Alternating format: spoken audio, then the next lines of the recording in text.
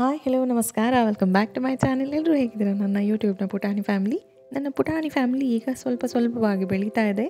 Thank you so much subscribe ಮಾಡ್ಕೊಂಡಿರೋರಿಗೆಲ್ಲ ಇನ್ನು ಯಾರ್ಯಾರು subscribe ಮಾಡ್ಕೊಂಡಿಲ್ವೋ, ದಯವಿಟ್ಟು ಸಬ್ಸ್ಕ್ರೈಬ್ ಮಾಡ್ಕೊಳ್ಳಿ.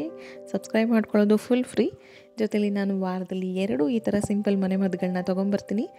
ಸೊ ವಾರದಲ್ಲಿ ಎರಡು ಸಲ ನಿಮ್ಮನ್ನೆಲ್ಲ ಭೇಟಿ ಮಾಡ್ತೀನಿ. ಯಾರೆಲ್ಲ ಇನ್ನೂ ಸಬ್ಸ್ಕ್ರೈಬ್ ಆಗಿಲ್ಲ, ದಯವಿಟ್ಟು ಚಾನಲ್ಗೆ ಸಬ್ಸ್ಕ್ರೈಬ್ ಆಗಿ. ಸೊ ವಿಡಿಯೋ ಏನು ಯಾವುದ್ರ ಬಗ್ಗೆ ಅಂತ ತಿಳ್ಕೊಳ್ಳೋದಕ್ಕಿಂತ ಮುಂಚೆ ನನ್ನ ಹಳೆಯ ವಿಡಿಯೋ ಅಂದರೆ ಹೋಮ್ ಮೇಡ್ ಶ್ಯಾಂಪು ವಿಡಿಯೋಗೆ ಕೆಲವೊಂದು ಡೌಟ್ಸ್ ಇದೆ.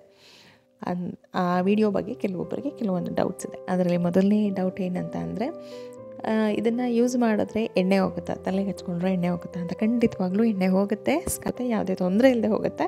ಜೊತೆಲಿ ಸಣ್ಣ ಪುಟ್ಟ ಇನ್ಫೆಕ್ಷನ್ಸ್ ಇದ್ದರೆ ಅದು ಕೂಡ ಕ್ಲಿಯರ್ ಆಗುತ್ತೆ. ಎರಡನೇ ಡೌಟ್ ಏನು ಅಂದರೆ ಇದನ್ನು ನಾವು ಸ್ಟೋರ್ ಮಾಡ್ಬೋದಾ ಅಂತ ಖಂಡಿತವಾಗ್ಲೂ ಇದನ್ನ ಸ್ಟೋರ್ ಮಾಡ್ಬೋದು. ನಾನು ಹೇಳಿರೋ, ಆ ವಿಡಿಯೋದಲ್ಲಿ ನಾನು ಹೇಳಿರೋ ಕ್ವಾಂಟಿಟಿಲಿ ನೀವು ಮಾಡಿಕೊಂಡ್ರೆ ಒಂದು ನಾಲ್ಕರಿಂದ ಐದು ಸಲ ಯೂಸ್ ಮಾಡುವಷ್ಟು ಶ್ಯಾಂಪೂ ಆಗುತ್ತೆ. ಅದನ್ನು ನೀವು ಒಂದು ಗ್ಲಾಸ್ ಬಾಟಲ್ಗೆ ಇಲ್ಲ ಒಂದು ಪ್ಲಾಸ್ಟಿಕ್ ಬಾಟಲ್ ನಿಮ್ಗೆ ಯಾವುದ್ರಲ್ಲಿ ಆಗುತ್ತೋ ಅದರಲ್ಲಿ ಹಾಕಿಬಿಟ್ಟು ನೀವು ಫ್ರಿಜ್ಜಲ್ಲಿ ಸ್ಟೋರ್ ಮಾಡ್ಬೋದು. ಸೊ ನೀವು ಪದೇ ಪದೇ ಅಂದರೆ ಪ್ರತಿ ಸಲ ಮಾಡ್ಕೋಬೇಕಾ? ಅಂತ ಕೇಳಿದ್ದಾರೆ ಕೆಲವೊಬ್ಬರು ಇಲ್ಲ, ಪ್ರತಿ ಸಲ ಮಾಡ್ಕೊಳ್ಳೋ ಅವಶ್ಯಕತೆ ಇಲ್ಲ. ಒಂದು ಸಲ ಮಾಡಿಕೊಂಡ್ರೆ ನೀವು ಸ್ಟೋರ್ ಮಾಡಿಕೊಂಡು ಒಂದು ನಾಲ್ಕರಿಂದ ಐದು ಸಲ ಯೂಸ್ ಮಾಡ್ಬೋದು. ಸೊ ಇದಿಷ್ಟು ನನ್ನ ಹೋಮ್ ಮೇಡ್ ಶ್ಯಾಂಪೂ ವಿಡಿಯೋಗೆ ಬಂದಿದ್ದಂಥ ಕೆಲವೊಂದು ಡೌಟ್ಸ್ಗಳು ಸೊ ಅದನ್ನೆಲ್ಲ ಕ್ಲಾರಿಫೈ ಮಾಡಿದ್ದೀನಿ ಅನ್ಕೋತೀನಿ. ಏನಾದರೂ ಡೌಟ್ಸ್ ಇದ್ದರೆ ಕಾಮೆಂಟ್ ಮಾಡಿ. ಇನ್ನೂ ಯಾರ್ಯಾರು ಆ ವಿಡಿಯೋನ ನೋಡಿಲ್ವೋ ಡಿಸ್ಕ್ರಿಪ್ಷನಲ್ಲಿ ಲಿಂಕ್ ಹಾಕಿರ್ತೀನಿ. ಒಂದು ಸಲ ಚೆಕ್ ಮಾಡಿ. ತುಂಬ ಒಳ್ಳೆಯ ಶ್ಯಾಂಪು ಅದು. ಸೊ ಬನ್ನಿ, ಇವತ್ತಿನ ವಿಡಿಯೋ ಯಾವುದ್ರ ಬಗ್ಗೆ ಮಾತಾಡ್ತಿದ್ದೀವಿ ಅಂತ ತಿಳ್ಕೊಳ್ಳೋಣ. ಇವತ್ತಿನ ವಿಡಿಯೋ ತುಂಬ ಸರ್ವೇ ಸಾಮಾನ್ಯವಾಗಿ ಇರುವಂಥ ಎಲ್ಲರಿಗೂ ಇರುವಂಥ ಒಂದು ಸಮಸ್ಯೆ ಬಗ್ಗೆ ಮಾತಾಡೋದಕ್ಕೆ ಅಂತ ಬಂದಿದ್ದೀನಿ. ಆ ಸಮಸ್ಯೆ ಏನು ಅಂದರೆ ಬ್ಲ್ಯಾಕ್ ಹೆಡ್ಸ್ ಮತ್ತು ವೈಟ್ ಸಮಸ್ಯೆ. ಮೊದಲನೇದಾಗಿ ಈ ಬ್ಲ್ಯಾಕ್ ಹೆಡ್ಸ್ ಮತ್ತು ವೈಟ್ ಹೆಡ್ಸ್ ಯಾತಕ್ಕೋಸ್ಕರ ಮುಖದ ಮೇಲೆ ಬರುತ್ತೆ ಅಂತ ತಿಳ್ಕೊಳ್ಳೋಣ. ಈ ನಮಗೆ ಗೊತ್ತಿರೋ ಹಾಗೆ ನಮ್ಮ ಮುಖದ ಮೇಲೆ ಪೋರ್ಸ್ ಇರುತ್ತೆ, ಅಂದರೆ ರಂಧ್ರಗಳು. ಆ ರಂಧ್ರಗಳು ಏನಕ್ಕೆ ಯೂಸ್ ಆಗುತ್ತೆ ಅಂತ ಅಂದರೆ ನಮ್ಮ ನಮ್ಮ ದೇಹ ಪ್ರೊಡ್ಯೂಸ್ ಮಾಡುವಂಥ ಎಕ್ಸಸಿವ್ ಆಯಿಲ್ನ ಆಚೆ ಹಾಕೋದಕ್ಕಾಗಿರ್ಬೋದು ಅಥವಾ ಟಾಕ್ಸಿನ್ಸ್ ಟಾಕ್ಸಿನ್ಸ್ನ ಆಚೆ ಹಾಕೋದಕ್ಕಾಗಿರ್ಬೋದು. ನಮ್ಮ ಸ್ಕಿನ್ನು ಒಂದು ಒಳ್ಳೆ ಥರದಲ್ಲಿ ಮಾಯಿಶ್ಚರ್ನ ಬ್ಯಾಲೆನ್ಸ್ ಮಾಡೋದಕ್ಕೆ ಮತ್ತು ಚೆನ್ನಾಗಿ ಅಂದರೆ ನಮ್ಮ ಸ್ಕಿನ್ ಚೆನ್ನಾಗಿ ಉಸಿರಾಡೋದಕ್ಕಾಗಿರ್ಬೋದು. ಇದೆಲ್ಲ ಕಾರಣಗಳಿಗೆ ನಮ್ಮ ನಮ್ಮ ಮುಖದಲ್ಲಿ ಈ ಪೋರ್ಸು ತುಂಬ ಅವಶ್ಯಕ. ಈ ಪೋರ್ಸ್ಗಳು ಕ್ಲೀನಾಗಿರಬೇಕು ಕ್ಲೀನಾಗಿದ್ದರೆ ಮಾತ್ರ ನಮಗೆ ನಾನೀಗ ಏನೇನು ಹೇಳಿದೆ, ಈ ಕೆಲಸಗಳಿಗೆ ಯಾವುದೂ ಅಡ್ಡಿ ಆಗದೆ ಇರೋ ಥರ ಚೆನ್ನಾಗಿ ಹೆಲ್ದಿ ಸ್ಕಿನ್ ಇರುತ್ತೆ. ಆದರೆ ಕೆಲವೊಂದೊಂದು ಸಲ ಏನಾಗೋ ಚಾನ್ಸ್ ಇರುತ್ತೆ. ಹೊರಗಡೆ ಧೂಳಿರ್ಬೋದು ಕಲ್ಮಶ ಇರ್ಬೋದು ಪಲ್ಯೂಷನ್ ಇರ್ಬೋದು, ಇದೆಲ್ಲದರಿಂದ ಮತ್ತು ನಮ್ಮ ಚರ್ಮನೇ ಪ್ರೊಡ್ಯೂಸ್ ಮಾಡುವಂಥ ಎಕ್ಸಸಿವ್ ಆಯಿಲ್ ಅದು ಮತ್ತು ಡೆತ್ ಸ್ಕಿನ್ನು ಇದು ಎಲ್ಲನೂ ಅದರೊಳಗಡೆ ಅಂದರೆ ಪೋರ್ಸ್ ಒಳಗಡೆ ಹೋಗಿ ಕಲೆಕ್ಟ್ ಆಗ್ತಾ ಹೋಗುತ್ತೆ. ಈ ಥರ ಕಲೆಕ್ಟ್ ಆದಾಗ ನಾವು ಅದನ್ನು ನೀಟಾಗಿ ಕ್ಲೀನ್ ಮಾಡ್ಕೊಳ್ದೇ ಇದ್ದಾಗ ಆ ಕಲೆಕ್ಟ್ ಆಗಿರೋ ಪೋರ್ ಮೇ ಪೋರ್ಸ್ ಮೇಲೇ ಹೊಸ ಚರ್ಮ ಬೆಳೆದ್ಬಿಟ್ಟಾಗ ಅದು ಒಳಗಡೆನೇ ಟ್ರ್ಯಾಪ್ ಆಗುತ್ತೆ. ಸೊ ಆ ಥರ ಟ್ರ್ಯಾಪ್ ಆಗಿದ್ದನ್ನು ನಾವು ವೈಟ್ ಅಂತ ಕರಿತೀವಿ. ಬೈ ಚಾನ್ಸ್ ಹೊಸ ಚರ್ಮ ಬೆಳೆದೇ, ಈ ಕಲೆಕ್ಟ್ ಆಗಿರೋ ಅಂಥ ಕೊಳಕೇನೇನಿರುತ್ತೆ ಅದೆಲ್ಲನೂ ಸ್ಕಿನ್ ಪೋರ್ಸಿಂದ ಆಚೆ, ಅಂದರೆ ಆಚೆ ಬಂದಾಗ ಹೊರಗಿನ ಗಾಳಿ ಜೊತೆ ಅದು ಕಾಂಟ್ಯಾಕ್ಟಿಗೆ ಬಂದಾಗ ಅದು ಆಕ್ಸಿಡೈಸ್ಡ್ ಆಗುತ್ತೆ. ಆಕ್ಸಿಡೈಸ್ಡ್ ಆಗಿ ಅದು ಬ್ಲ್ಯಾಕ್ ಕಲರ್ ಟರ್ನ್ ಆಗುತ್ತೆ. ಸೊ ಅದನ್ನು ನಾವು ಬ್ಲ್ಯಾಕ್ ಹೆಡ್ಸ್ ಅಂತ ಕರಿತೀವಿ. ಒಳಗಡೆನೇ ಇದ್ದರೆ ಅದು ವೈಟ್ ಹೆಡ್ಸು ಪೋರ್ಸ್ ಆಚೆ ಬಂದಾಗ ಅದು ಬ್ಲ್ಯಾಕ್ ಹೆಡ್ಸ್ ಆಗಿ ಕನ್ವರ್ಟ್ ಆಗುತ್ತೆ.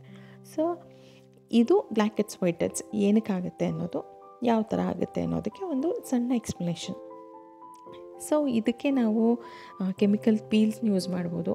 ಅದು ಬಿಟ್ಟರೆ ಸ್ಕ್ರಬ್ಸ್ನ ಯೂಸ್ ಮಾಡಿ ತೆಗಿಬೋದು ಇದನ್ನ ಅದು ಬಿಟ್ಟರೆ ಕೆಲವೊಂದು ಇದಕ್ಕೆ ಅಂತಲೇ ಸಕ್ಷನ್ ಎಕ್ವಿಪ್ಮೆಂಟ್ಸ್ಗಳು ಬರುತ್ತೆ. ಅಂದರೆ ನೀಟಾಗಿ ವೈಟ್ ವೈಟ್ ಹೆಡ್ಸು ಬ್ಲ್ಯಾಕ್ ಹೆಡ್ಸ್ನ ತೆಗೆದುಬಿಟ್ಟು ನಮ್ಮ ಪೋರ್ಸ್ನೆಲ್ಲ ಕ್ಲೀನ್ ಮಾಡಿಬಿಡುತ್ತೆ.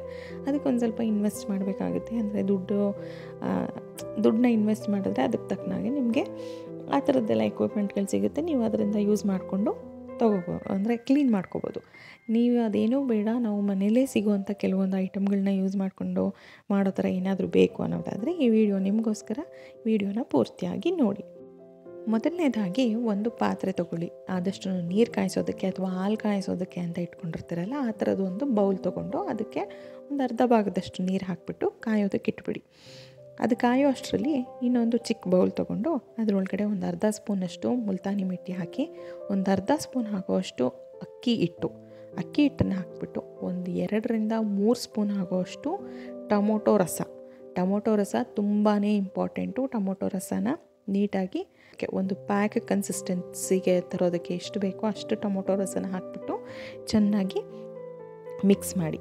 ಮಿಕ್ಸ್ ಮಾಡಿಬಿಟ್ಟು ಅದನ್ನು ಸೈಡಲ್ಲಿ ಇಟ್ಕೊಳ್ಳಿ. ಅಷ್ಟೊತ್ತಿಗೆ ನೀರು ಕಾದಿರುತ್ತೆ.